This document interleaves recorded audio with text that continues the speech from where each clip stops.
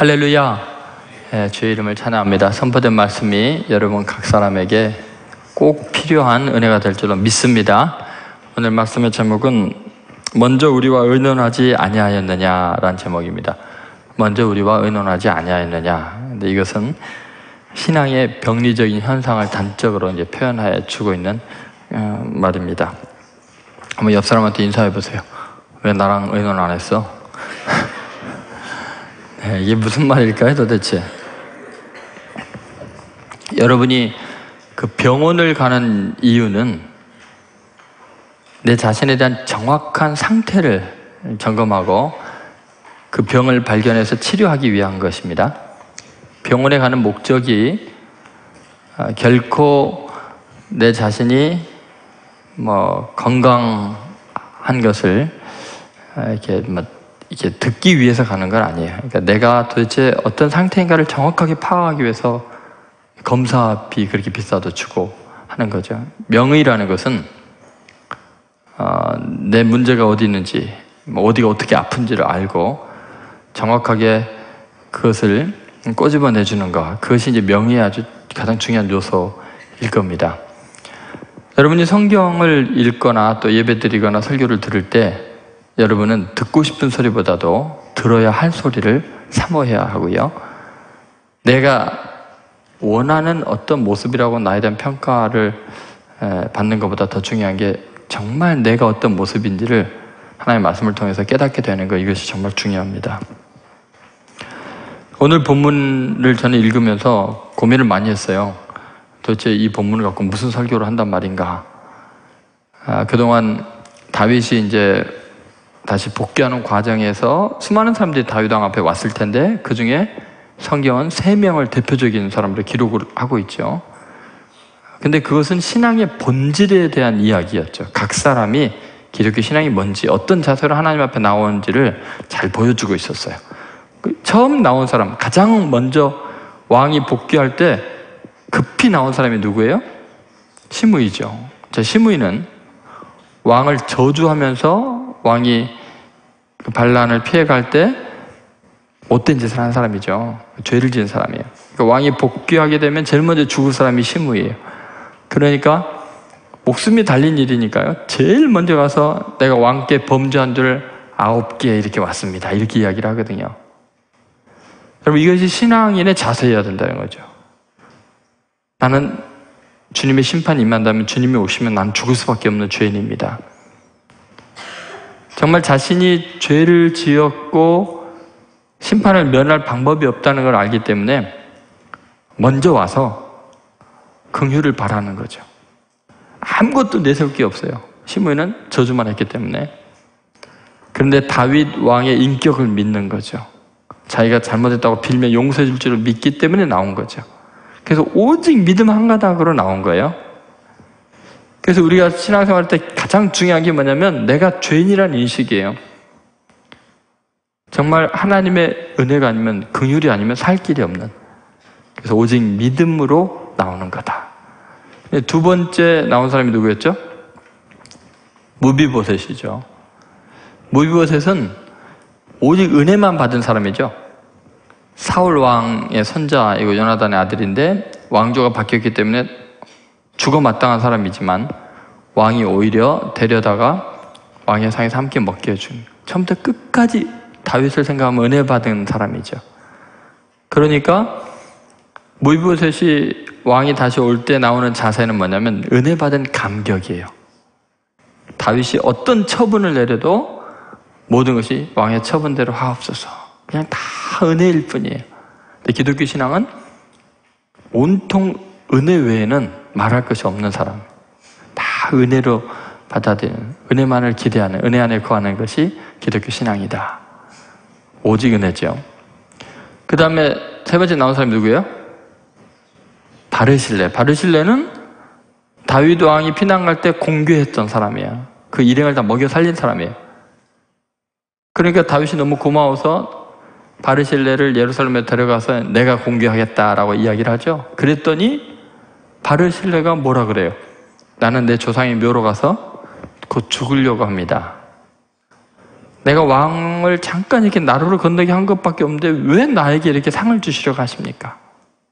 그러면서 겸손하게 자기를 낮추고 다윗 왕만을 높이죠. 신앙은 자기를 낮추고 하나님께만 영광을 돌리는 왕이신 그분만 높이는 것이 하나님 앞에 나오는 우리 인간들의 자세여야 된다. 그러니까 기독교 신앙은 내가 죄인이라는 인식과 함께 오직 믿음으로 나오고 오직 모든 것이 은혜다. 정말 죽을 사람을 살린 은혜. 하나님 자녀가 되게 하신 은혜. 은혜밖에는 자랑할 것이 없고 오직 영광은 하나님께만 돌리는 것. 이것이 이제 신앙생활할 때 기독교인들의 아주 기본적인 자세예요. 그런데 이 세 부류만 딱 나온 게 아니라 오늘 본문에 보니까 이스라엘 사람들이 나와서 다윗에게 따지고 왕위를 복직시키는데 실질적인 일을 처리한 유다 사람들을 정죄하고 판단하는 일이 일어나요. 이거 왜 기록했을까? 가만히 생각해 보니까 제가 뭐 어저께 저녁까지도 고민을 많이 했어요. 하나님께서 아침에 다행히 계시를 주셨어요. 이 뭐냐면은 신앙의 병리적인 현상이 뭔지, 잘못된 신앙, 하나님 왕 앞에 나올 때 어떤 것이 신앙이 병이 든 모습인지를 보여주는 거예요. 그러니까 정상적이지 않은 신앙의 상태. 그것이 바로 오늘 이스라엘 사람들이 왕 앞에 나와서 오늘 본문에 하는 말을 통해서 알 수 있죠. 그래서 신앙이 병들 때 어떤 현상이 나타나는지 이제 오늘 우리가 우리 자신을 진찰하는 거예요. 보이지 않는 영의 상태를 진찰하는 거예요. 뭐가 병들었는지 알 수 있겠죠? 첫 번째 신앙이 병들 때 나타난 증상은 뭐냐면 정죄 의식이에요. 한번 따라서 정죄 의식.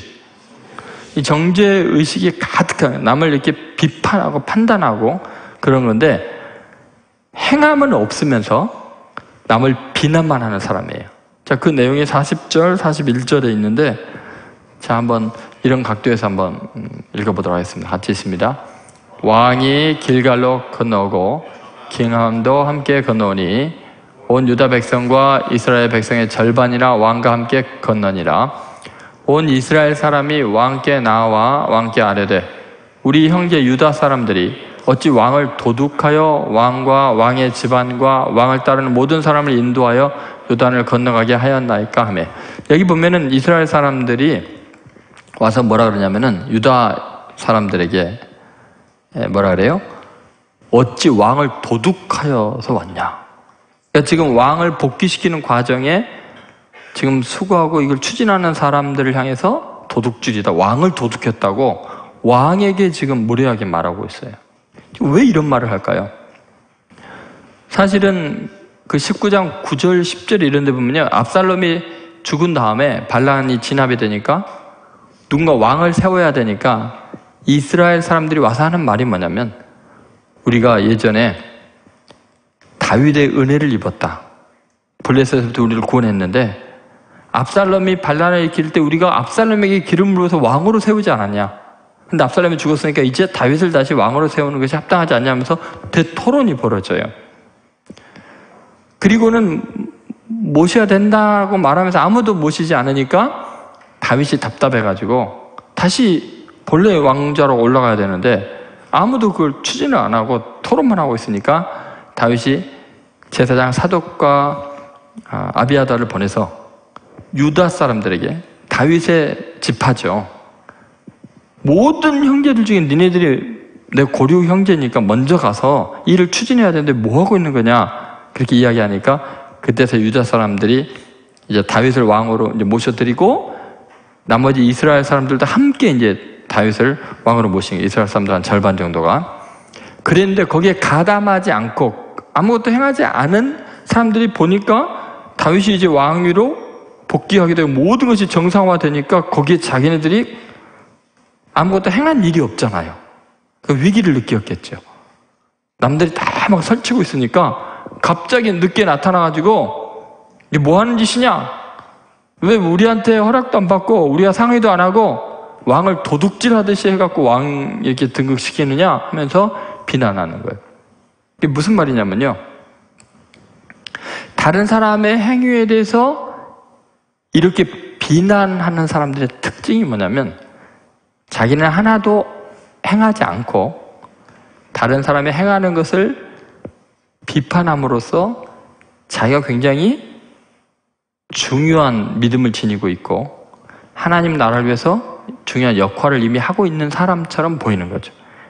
아무것도 안 했어요, 이 사람들은. 손가락 하나 까딱 안 하고도 그 왕을 지금 다시 왕으로 모시는 이런 일에 잘못됐다는 것을 지적을 하면서 자기네들이 마치 대단한 사람인 것처럼 이야기를 하는 거죠.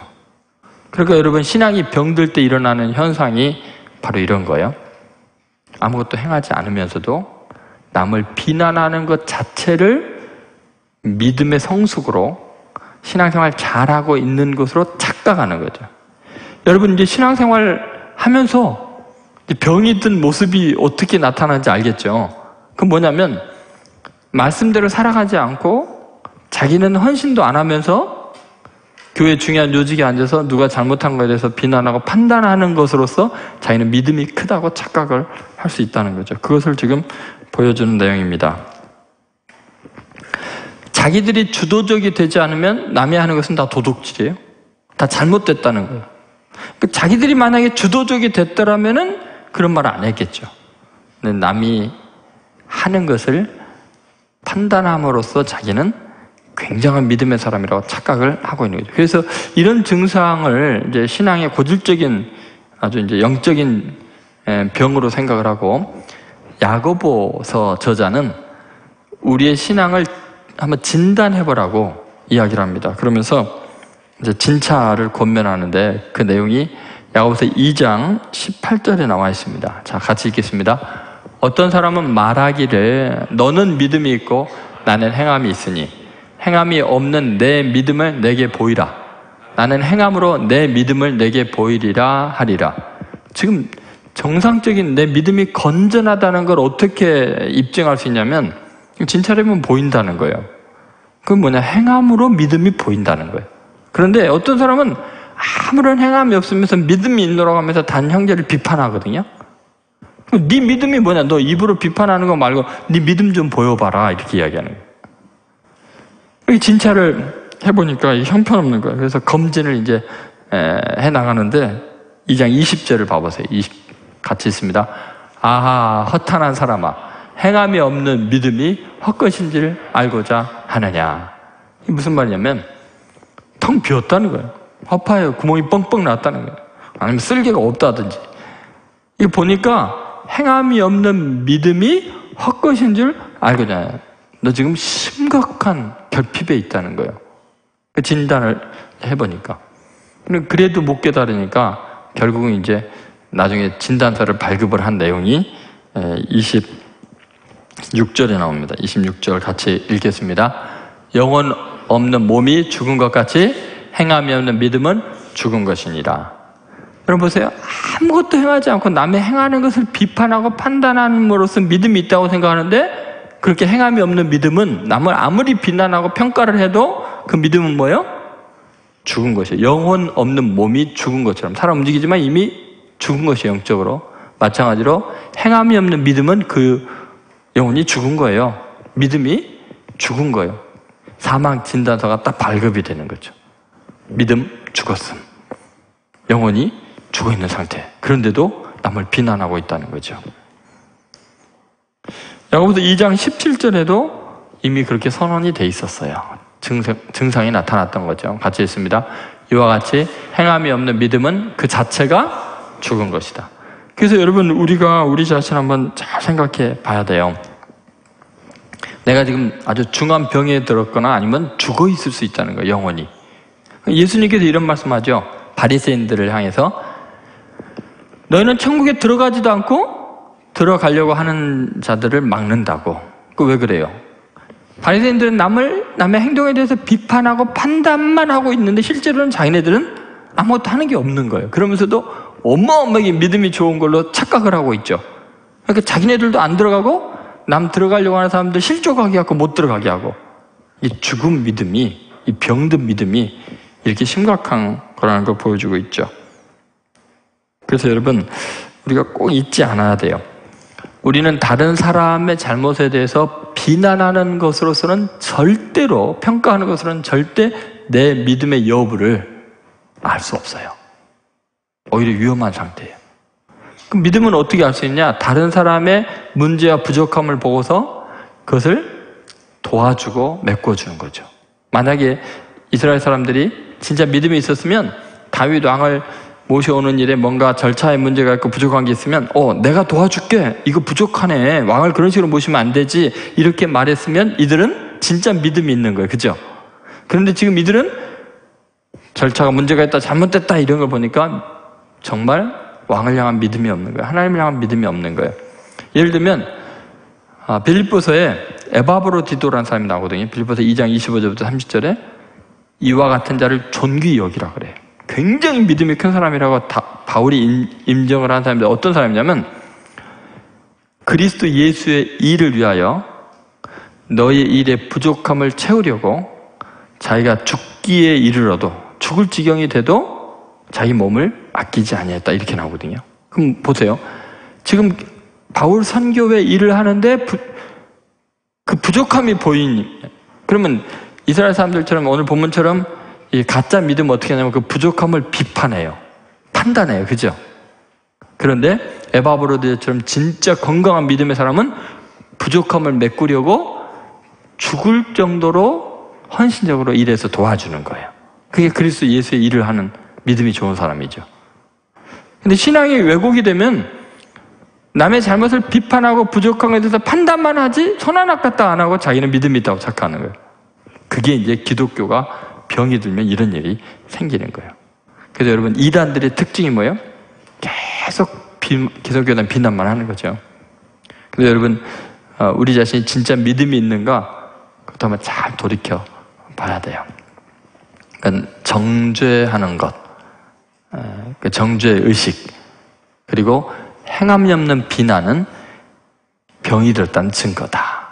그것을 보여준 거죠. 두 번째, 아, 신앙이 병들 때 일어나는 현상 중에 하나가 뭐냐면 특권 의식이 한번 따라하세요. 특권 의식. 예. 이 특권 의식은 그 혈연 의식 그리고 다수 의식 이런 걸로 이제 나타나는데 오늘 본문에 보면요. 그 유다 지파 사람들이나 이스라엘 사람들이나 특권 의식이 가득해요.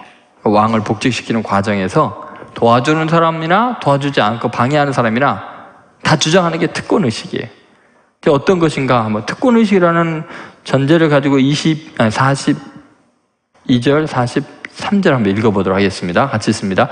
모든 유다 사람이 이스라엘 사람에게 대답하되 왕은 우리의 종치는 까닭이라 너가 어찌 이 일에 대하여 분내느냐 우리가 왕의 것을 조금이라도 얻어먹었느냐 왕께서 우리에게 선물로 주신 것이 있느냐 이스라엘 사람이 유다 사람에게 대답하여 이르되 우리는 왕에 대하여 열 몫을 가졌으니 다윗에게 대하여 너희보다 더욱 관계가 있거늘 너희가 어찌 우리를 멸시하여 우리 왕을 모셔오는 일에 먼저 우리와 의논하지 아니하였느냐 하나 유다 사람의 말이 이스라엘 사람의 말보다 더 강경하였다. 여기 보면 이제 먼저 다윗 왕을 모셔오는데 앞장선 유다 사람들의 특권 의식은 뭐예요? 그 42절에 보면 뭐라 그랬어요? 우리는 왕이 뭐라고요? 왕은 우리의 종친이다. 다시 말해서 혈연 관계에 있다는 거죠. 다윗이 유다 지파 사람이니까. 그러니까 우리가 왕을 모셔오는 게 뭐 잘못됐냐? 우리의 가족인데, 우리 혈연 관계에 있는데, 이런 거죠. 근데 여러분, 교회가 병이 들거나 신앙이 병들 때 일어나는 오래된 교회 특징 중에 하나가 뭐냐면 이 혈연 의식이에요. 혈연주의.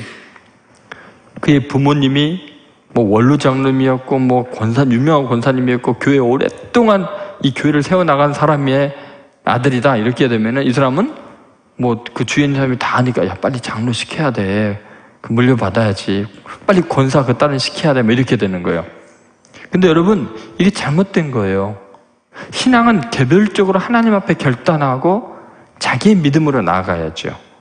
뭐 혈연 관계로 이렇게 되면 안 되죠.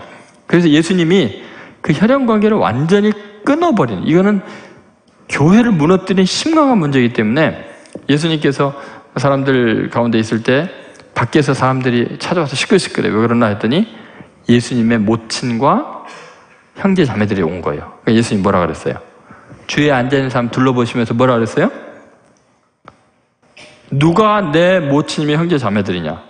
하나님의 뜻대로 행하는 자가 내 모친이요 형제와 자매라고 이야기를 하죠.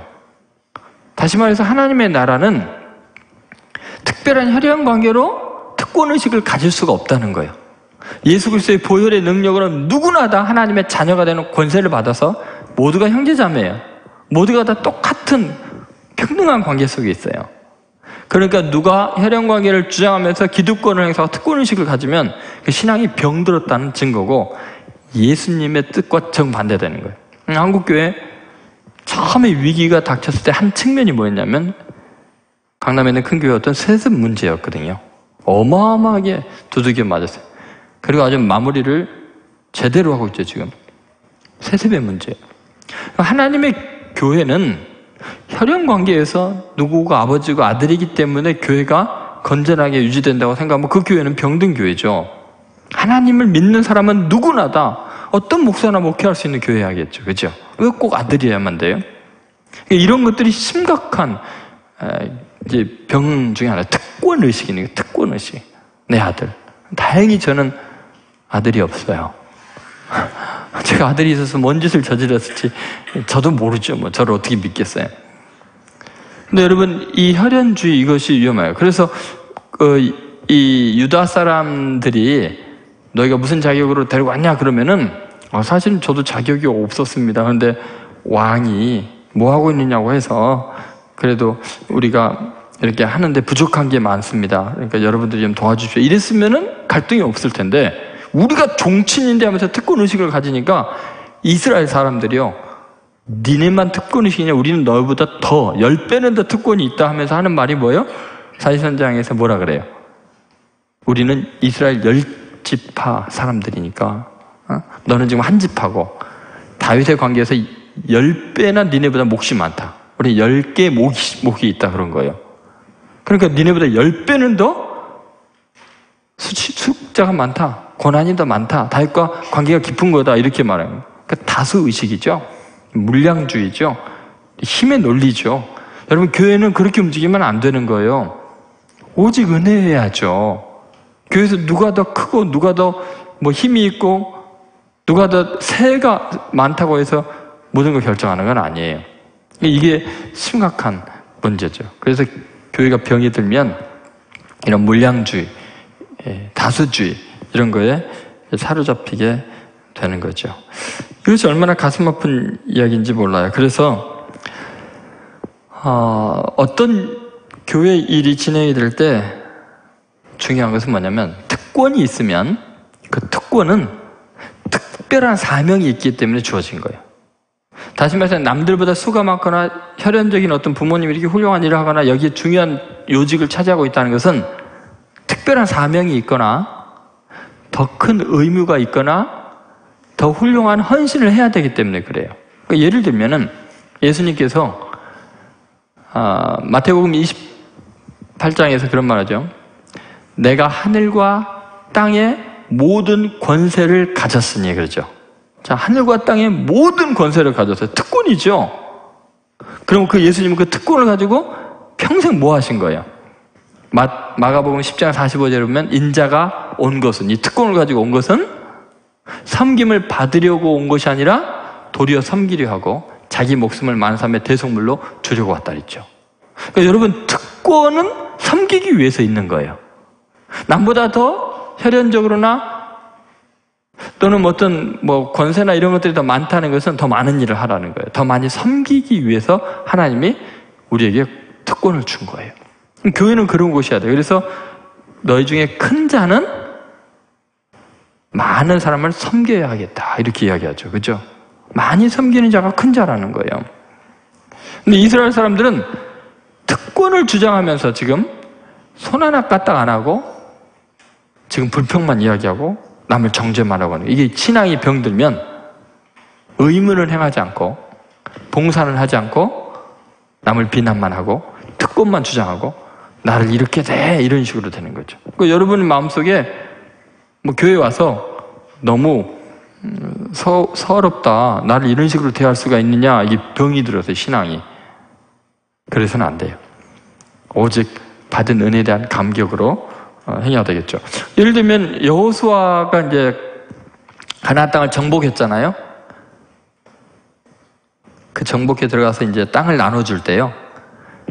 다 불평이 없는데 요셉 지파, 에브라임과 문하세 지파가요. 갑자기 잠깐 그리고는 이의를 제기해요. 우리는 하나님께 복을 많이 받아서 이렇게 큰 민족이 되는데 요 한 개밖에 안 줍니까?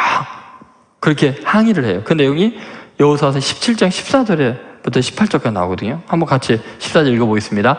요셉 자손이 여호수아에게 말하여 이르되 여호와께서 지금까지 내게 복을 주심으로 내가 큰 민족이 되었거늘 당신이 나의 기업을 위하여 한 제비 한 분깃으로만 내게 주시면 어찌 하매니까 하니 자 특권을 주장하고 있는 거죠. 좀 이렇게 큰 민족이 되고 복을 많이 주셨는데 요거 하나밖에 안 줍니까? 그러니까 여호수아가 뭐라 그래요? 15절 한번 보세요. 15절 같이 있습니다.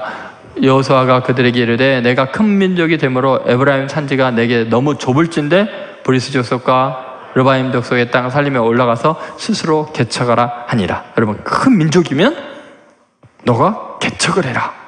아, 요거 받은 거 가지고 만족하지 말고 더 개척을 해라. 더 큰 일을 행해라 이런 거죠. 그랬더니 걔네들이 뭐라 하는 줄 알아요? 어휴, 거기 있는 사람들은 철병거가 있어서 무서워요. 그렇게 이야기를 해요. 그래서 16절 끝에 보면 철병거가 있나이다. 이러면서. 그럼 말이 안 되잖아요. 자기네들이 큰 민족이라며, 큰 능력이 있다며, 그러면 어떻게 해요?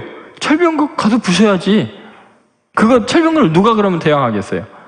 그런데, 지네 스스로는 크다 그러면서 꼼짝도 하기 싫은 거예요. 그냥 남이 주는 거 받으려는데 누가 그걸 주냐고요. 큰 민족이 그 일을 해야지, 그죠? 그러니까 여서가 너무 답답해서 17절, 18절에서 용기를 주는 말을 하면서 사명을 주는 말을 하는 거죠. 그 불평을 사명으로 바꿔요. 원망을 사명으로 바꿔요. 그 내용이 17, 18절에 같이 있습니다. 여서가 다시 요셉의 족속 곧 에브라임과 문하스에게 말하여 이르되 너는 큰 민족이요 큰 권능이 있은즉 한 분깃만 가질 것이 아니라 그 산지도 내 것이 되리니 비록 살림이라도 내가 개척하라 그 끝까지 내 것이 되리라 가나안 족속이 비록 철병거를 가졌고 강할지라도 내가 능히 그를 쫓아내리라 하였더라. 기가 막히죠? 여호사의 그 말솜씨가. 이렇게 큰데 이거밖에 안 줘요? 하니까 그러냐? 너 크니까 너 말대로 그걸 만족하면 안 되지. 더 가져야지. 그러니까 네가 개척해. 아, 무서운데요? 아니야 너 크잖아. 능력 있으니까 가서 쳐부숴. 그렇게 이야기하는 거예요. 그러니까 불평과 원망을 뭐로 바꾸는 거예요? 사명으로 바꾸는 거예요. 여러분, 기독교인이 사명이 없으니까 불평을 하는 거예요. 나를 이런 식으로 대, 거예요. 여러분, 신앙이 병들면 사명은 사라지고 사욕만 남는 거예요. 사욕에 그냥 사로잡아서 불평과 원망 가득한 그런 거죠. 여러분, 특권 의식이 자기 자신의 의무 태만에 재료가 되면 안 돼요. 오히려 사명감으로 충만해져서 병이 치유되기를 간절히 소원합니다. 네, 세 번째, 신앙이 병들 때 일어나는 증상. 아주, 아주 대표적인 증상이에요. 그게 뭐냐면 율법주의예요. 그것은 자기 존재감의 과시를 위해서 그래요. 한번 따라해보세요. 율법주의. 자기 존재감의 과시. 이게 어떻게 연결되나 보세요. 보통요, 율법을 강조하는 것은 자살행위거든요. 법대로 합시다. 이 말은요. 인간으로서 해서는 안 되는 말이에요. 왜요? 법대로 해서 살아남을 사람이 없으니까. 그죠? 우리는 법에 다 죽을 죄인들이기 때문에 오직 은혜를 바라는 사람 아니에요. 그죠? 그런데 율법주의자가 된다는 것은 딱 한 가지 이유밖에 없어요. 율법을 이용해서 자기를 과시하려고, 자기 존재감을 부각시키려고 하는 거예요. 그 내용이 43절에 그 뒷부분에 기가 막히게 나와 있어요. 우리 신앙인이 병들 때 하는 말과 행동들과 가치관이 고스란히 나와 있죠. 자, 한번 43절 그 뒷부분 봅시다. 같이 있습니다. 너희가 어찌 우리를 멸시하여 우리 왕을 모셔오는 일에 먼저 우리와 의논하지 아니하였나 하나 유다 사람의 말이 이스라엘 사람의 말보다 더 강경하였더라. 여기 보면은 이런 거죠. 자, 너희가 어찌 우리를 멸시하여 우리 왕을 모셔오는 일에, 자, 왕을 복귀시키는 일에 먼저 우리와 의논하지 아니하였느냐 이렇게 했잖아요. 무슨 말이냐면 절차상의 문제가 있다. 적법하지 못하다. 무효다. 이런 이야기죠. 법대로 해라. 율법을 강조하는 거죠. 왜 먼저 우리와 의논하지 않았느냐? 그럼 여러분, 지금 이들이 그 절차를 문제 삼고 법대로 해야 된다라고 말할 때 그 목적이 뭐예요? 이들은요, 다윗이 왕이 되는 것 자체가 불합리하다, 불법이란 이야기예요? 그게 아니에요. 절차가 문제라는 거예요. 이들의 목적은 뭐예요? 아니, 왕이 왕의 자리로 온전하게 등극하게 되면 그것으로 절차가 조금 문제가 있어도 그 기뻐해야 되는 일 아니에요? 그런데 절차를 문제 삼는 이유가 뭐예요? 그것은 왕에게 목적이 있는 게 아니고 자기 자신의 존재감을 부각시키는 데 목적이 있기 때문이에요. 그 문제를 일으키는 거예요. 왜냐하면 자기네들이 손 하나 까딱 안 하고 아무것도 안 하니까 이 어마어마한 국가적인 행사에 자기네들이 존재감이 없으니까 이걸 문제를 제기함으로써 자기네들이 건재함을 보이고 싶은 거죠. 그래서 아까 43절 중간 앞부분에 그렇게 나오는 거예요. 너희가 어찌하여 우리를 멸시하여 이런 멸시해서 그죠? 멸시당하기 싫다는 거예요. 근데 멸시받을 짓을 한 거죠. 아무것도 안 했잖아요. 그 중요한 때 그래 놓고 존재감을 밝히는 방법이 뭐냐면 법을 따지는 거예요. 그 다음부터 막그 어, 그 법전을 뒤지면서 과연 여기서 뭔가 문제가 있나 보자 이렇게 해서 따지는 거예요. 그러면 왕을 위한 게 아니라 순전히 자기 자신의 입장을 위해서 율법주의자가 되는 거예요. 무슨 말인지 알겠죠? 네.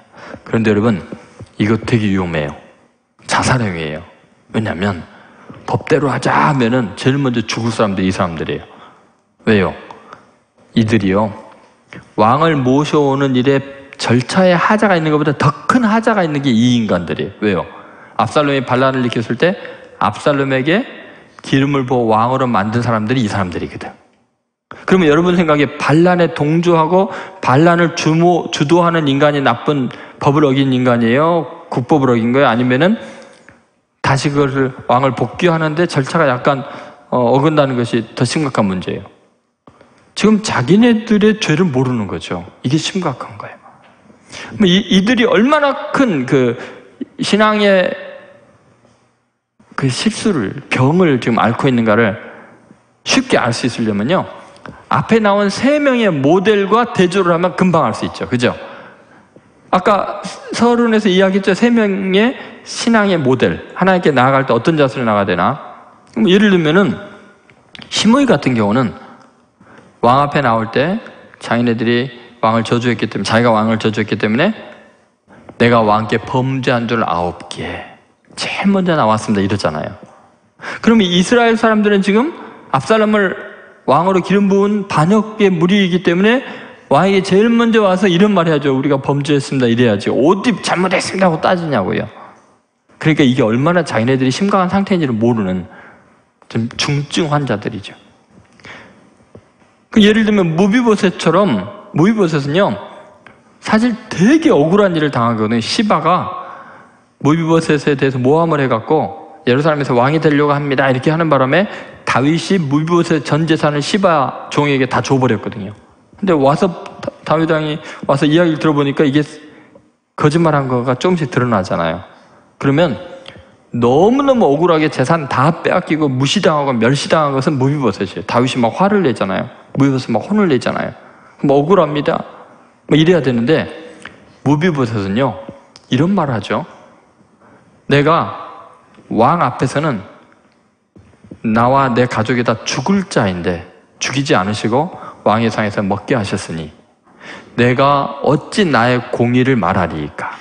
내가 억울하다는 이야기, 속아, 속, 속으신 겁니다라는 이야기를 어떻게 합니까? 벌써 죽을 죄인에게 은혜 베푸셨는데 내가 할 말이 없습니다. 오직 은혜일 뿐입니다. 이렇게 이야기하죠. 그렇게 이야기를 하니까 다윗이 찔리니까 어이구 내가 실수했네 하니까 뭐라 그랬냐면 아직도 네가 네 말을 하느냐? 뭐 이거는 이제 헛소리 하는 거냐? 허풍 치는 거예요. 할 말이 없으니까. 그러면서 하는 말이 너의 재산을 10어와 절반씩 나누라 그러죠. 그죠? 그 말은 무슨 말이에요? 무이버스 이야기 듣고 나니까 재산, 재산 다 준 거 자기가 잘못 판단한 거를 안 거죠. 그때 무이버스이 뭐라 그래요? 왕이 무사히 돌아오셨으니 그것으로 족합니다. 시바로 하여금 재산 다 가져가게 하십시오. 무슨 말이냐면 왕의 처분대로 하시라는 거예요. 나는 왕이 무사히 돌아오고 다시 왕좌에 돌아온 그것이 나의 기쁨이고 감격이지. 내가 억울하고 어떤 대우를 받았냐, 어떤 처우를 받았냐는 관계없습니다. 왕의 처분대로 하소서. 이것은 이스라엘 사람들이 너희가 나를 멸시하느냐와 대조가 되죠.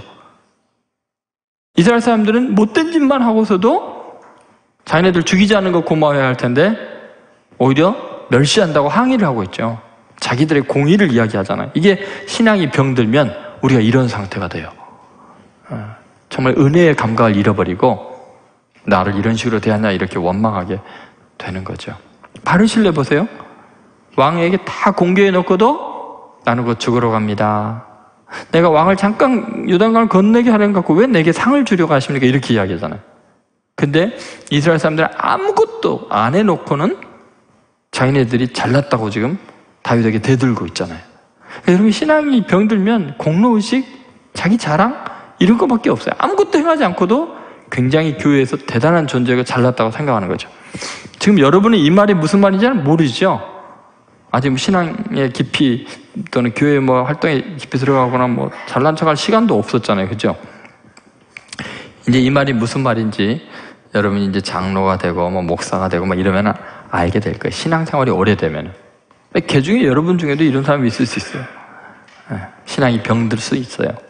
그래서 꼭 기억하세요. 신앙이 병들 때 일어나는 증상이 세 가지. 아주 전형적으로 일어나는 현상이에요. 첫 번째가 뭐였어요? 정죄주의요. 자꾸 다른 사람의 행한 걸 비판하면서 자기는 아무것도 안 하면서도 믿음이 좋은 척 하는 거. 행함이 없는 비난. 정죄하는데 입, 을 자주 놀리는 사람은 아무것도 행동하는 게 없어요. 그러면서 자기는 믿음이 좋다고 착각을 하는 거죠. 이것은 죽은 믿음이죠. 시체나 마찬가지. 두 번째는 뭐예요? 특권 의식이죠. 내가 이 정도로 잘났고, 내가 이 정도로 뭐 교회 중요한 인물이고, 이 정도로 능력이 있고 이런 것들이요.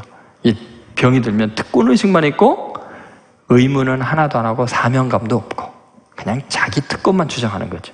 세 번째는 병이 들 때 일어나는 증상이 뭐예요?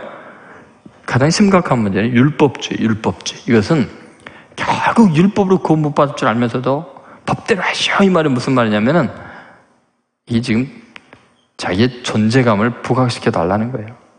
자기를 우상화하는 게 왕을 높이는 게 아니라 자기를 멸시하지 말라는 거죠. 그러니까 이것은 자기 우상화요. 죽을 죄인이 하는 짓이에요. 여러분 꼭 평생 신앙생활 하면서요. 이 세 가지 병을 걸리지 않도록 노력하고요. 자기 체크를 하세요. 아시겠습니까? 열심히 신앙생활 하면서 이 세 가지에 빠지지 않도록 정신을 바짝 차리시기를 바랍니다. 그것이 정말 한국교회 필요한 일입니다. 한국교회는 지금 하나님의 은혜로 크게 부흥하면서 이 중증에 걸려있는 이 병에 걸려있는 거죠. 뭐다 그런 건 아니죠. 여러분 꼭 자신이 이런 일에 빠지지 않도록 주님 앞에 깨어 기도하는 여러분들이 되시기를 주의 이름으로 축원드립니다. 기도하겠습니다. 하나님 아버지 오늘 선포된 이 말씀대로 우리가 우리 자신을 다시 한번 잘 체크하기를 원합니다. 성령님께서 기적을 베풀어 주셔서 저희가 회개할 수 있는 마음을 주시고 우리 자신을 정확하게 진단하고 돌이켜 주님께로 나아가도록 복을 내려 주옵소서. 지금은 우리의 죄악을 대속하신 예수 그리스도의 은혜와 독생자까지 희생하여 우리를 사랑하신 하나님 아버지의 극진하신 사랑과 성령의 감동 감화 교통하심이 남은 생애 동안 주 앞에 늘 참여하는 마음으로 주님의 은혜에 감격하는 마음으로 주님의 영광을 드러내며 살겠노라고 결단하는 하나님의 아들, 딸들 머리 위에 한국 교회와 이민족 위에 지금으로부터 영원히 함께 하시기를 간절히